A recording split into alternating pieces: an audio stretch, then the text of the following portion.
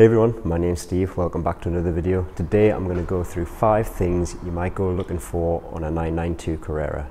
So the first thing you might go looking for is the key. Now, if you're trying to get into your car without using the key fob, say the battery's died, there's also the key that will pop out of the back of the fob. Now, the key itself has a pull-out part on the back, which has actually got your key in to be able to unlock your door. And there's one lock on the car, and it's underneath the driver's door handle, and I'm going to show that to you now. So you can see with the car lock, the door handle is flush and it's down. If we go to try and lift it up, can pull it to two clicks, and the door stays locked. Now underneath the actual handle is the locking mechanism, if we can see it. There we go, there's the locking mechanism there.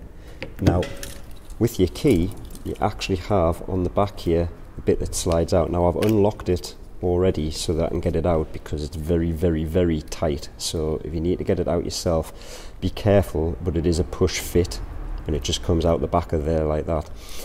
Now this is not very easy to do and there's actually a Porsche video on the Porsche Connect part of the driver manuals that shows this much better in a 3D and I'm going to cut to that now and show you exactly how to get into the car.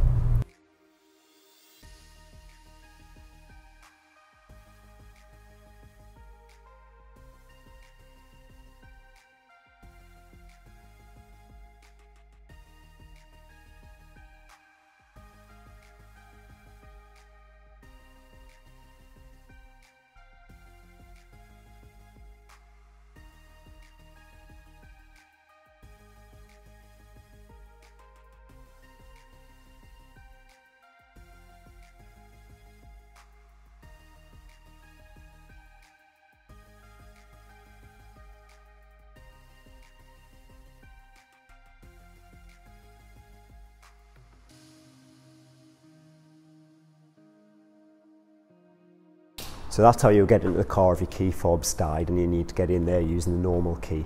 The second thing you might go looking for in your Porsche 992 is the socket for your alloy wheel locking nuts.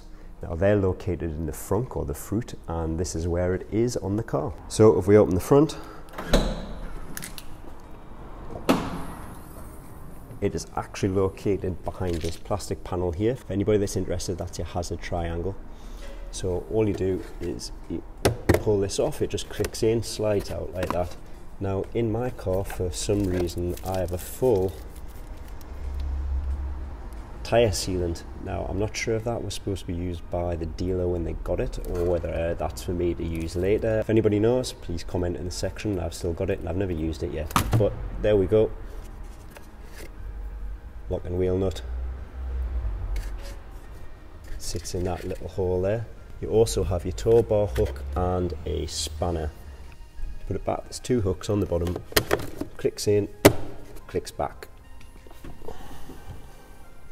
The third thing you might go looking for on your Porsche is the power socket. Because they've removed those now from most of the cars, you'll actually find it in a slightly different location. Now on my car, it is in the passenger footwell.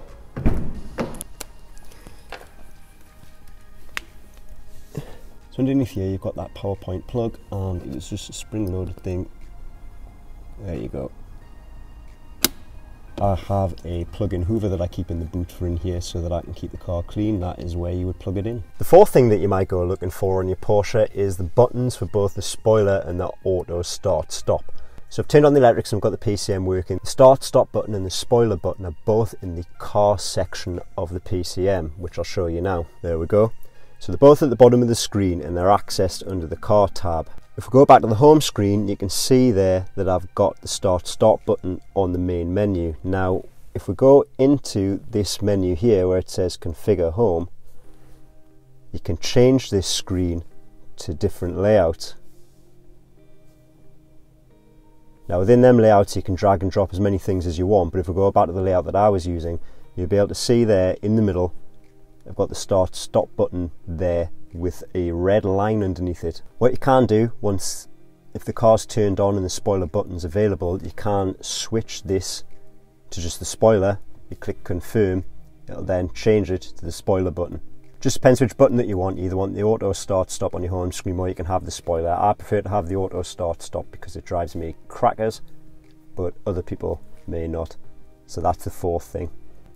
The fifth thing that you might go looking for on your Porsche is a way to get your stereo working with your iPod or your iPhone to get music out of it instead of just the radio. You go to the media section of the PCM and there's a little drop down menu button at the top that will give you all the options available. Here in media you can see at the top there it says DAB and FM. If we click on that it'll give you a drop down. So here in the middle we've got the armrest, the button is on the side, you press it and push it up.